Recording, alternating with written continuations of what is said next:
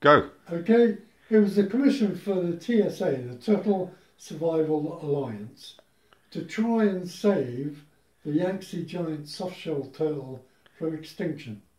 Uh, there were just a couple of uh, specimens known to be in captivity, and it was extinct in the wild.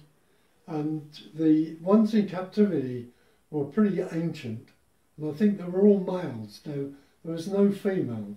So TSA had a workshop uh, in China to try and generate some interest for people to go out and search through all their private collections and zoos to see if by any chance a female had survived.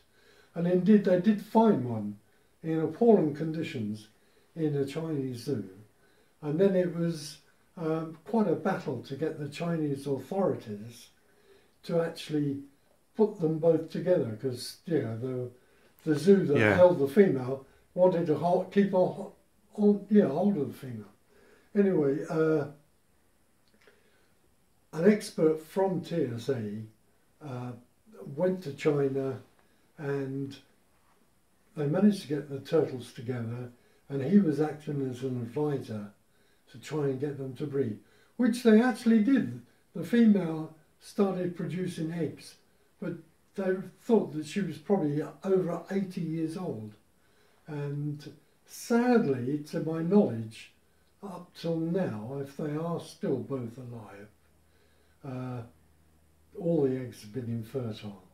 So they've been working with the Chinese authority to try and improve the diet of the turtles to give them as yeah, good a chance as possible to produce fertile eggs.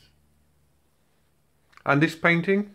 That painting was commissioned as a fundraiser uh, to pay for the uh, people going out to China to, to do this this work, and uh, they auctioned the the original painting. They also uh, commissioned a hundred prints of the painting, which I signed. They're a limited edition, and they sold out very quickly.